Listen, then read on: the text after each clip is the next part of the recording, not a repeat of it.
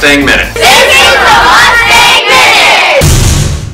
Teach, teach, teach, teacher of the week. Teacher of the week! Hello, Penguin. How are you today? Just fishy. Now, what do you do as a teacher? I ask penguins questions in hallways. That's wonderful. You know, I walk around hallways and ask teachers questions. That's fantastic. Ask me a question now. Well, what do you like about teaching?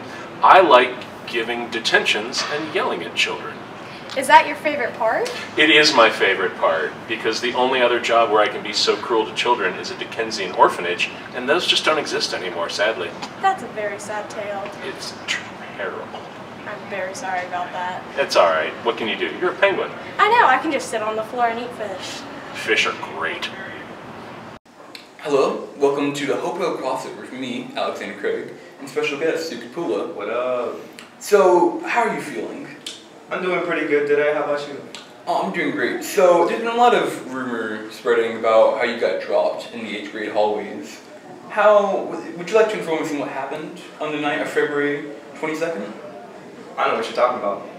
Really, because we have some great footage of my man, Suki Pula, being absolutely I know so get, no, so get. And yeah. Here we find another Mr. Fee out in his habitat.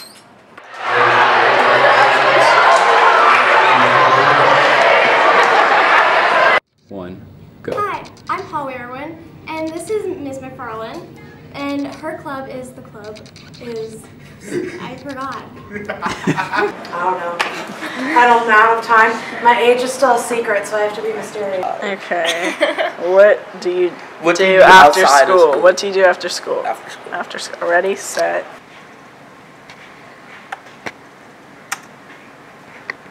I'm Elliot Kuykendall, and I'm in eighth grade.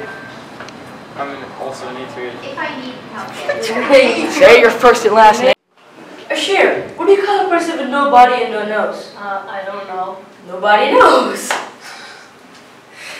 No, stop.